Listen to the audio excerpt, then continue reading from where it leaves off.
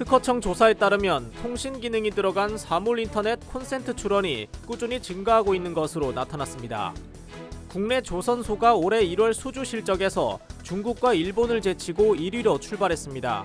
선박 수주 점유율은 55.5%를 차지했습니다. 국내 기업이 사물 인터넷 기능이 들어간 초소형 손가락 로봇을 개발했습니다. 저렴한 비용으로 가전기기나 조명 등을 제어할 수 있어 해외 시장에서도 좋은 반응을 얻고 있습니다.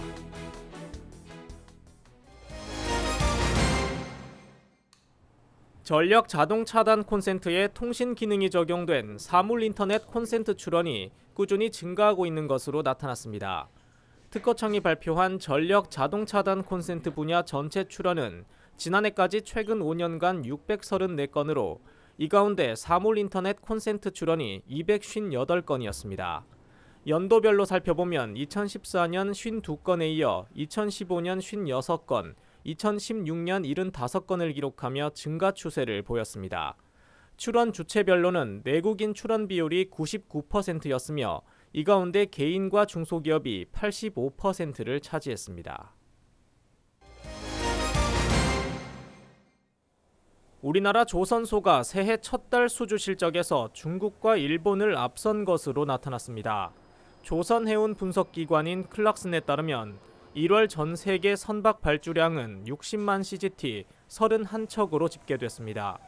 이 가운데 우리나라는 약 33만 CGT를 차지했고 중국과 일본은 각각 11만 CGT와 2만 CGT를 기록하며 한국이 수주 점유율 55.5%를 차지했습니다. 한편 1월 말 기준 전 세계 수주 잔량은 8,187CGT로 지난 2004년 8월 말 이후 12년 5개월 만에 최저치를 기록했습니다.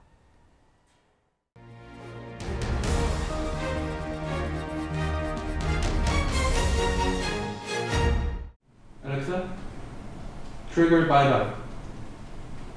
Sending that to it. 말 한마디에 조명이 꺼지고 블라인드가 내려가고 작동하던 온풍기가 멈춥니다. 아마존의 AI 음성 비서를 활용해 제어되는 이 제품들에는 모두 손가락 모양의 작은 로봇이 부착되어 있습니다. 국내 한 회사가 주위의 많은 버튼을 원격으로 제어하기 위해 만든 초소형 사물 인터넷 로봇입니다. 배터리가 내장돼 있기 때문에 그 완벽하게 이제 무선으로 동작을 하고요. 그 블루투스가 내장되어 있어서 스마트폰으로 이제 직접 붙이던 아니면 저희 플랫폼인 이제 프로타라는 기기 허브하고 연결을 해서 사용할 수도 있고요. 부착을 하면 어, 한 번 충전을 하면 한 1년 정도 재충전 없이 사용하실 수 있고요. 마이크로브 푸시는 마치 사람 손가락처럼 원하는 버튼을 대신 눌러줍니다. 설치 방법은 간단합니다. 로봇의 하단 부분에 양면 테이프를 부착하고 원격 제어를 원하는 버튼에 붙이면 바로 사용할 수 있습니다. 휴대폰 애플리케이션은 물론 음성과 메시지로도 동작 제어가 가능합니다. 현재 아마존과 일본 통신사 사물 인터넷 사이트 등 해외에서 인기입니다.